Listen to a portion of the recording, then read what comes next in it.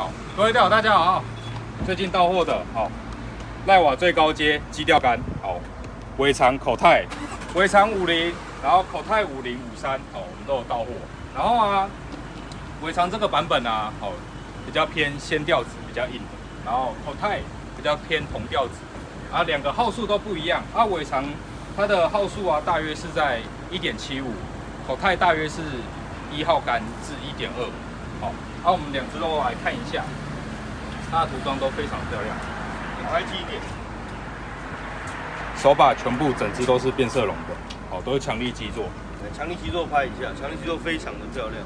好，然后还有它的后面的贵宾把也都是变色龙的，都非常漂亮。好，那我们现在先来看尾长的调性，一点七五号纤钓子，来看一下是多硬。那我们为了说让顾客更了解这个冻钓跟鲜钓，我们就同时抽干了哦。好，尾长是标准的鲜钓，那我现在手上这一把是火泰，火泰，火泰是标准的铜钓子，冻钓。哦，那其实冻钓就是比较属于比较软黏，然后鲜钓就是硬挺。好，那等一下我们同时抽干，大家就会知道。然后前面的珠子啊，全部都是 AGS 珠，卡泵珠。好，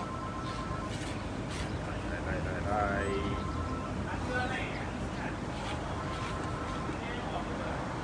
因为这把杆子其实还是要实时上这样子刀杆来拿两只，好我去抓两边。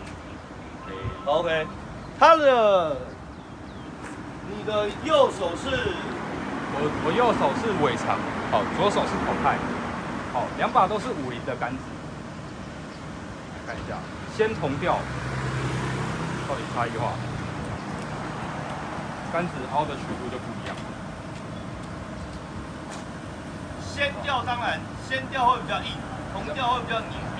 哦，那我们尽量用视频来去拍摄，让顾客知道什么是重调啦，先调会比较好。哦，买杆子比较不会买错。OK。然后这些的这三把杆的价格啊，一律都来电私讯报价。啊，有喜欢找到我们，我们粉丝专业有空也去按个赞，分享一下，关注一下。OK。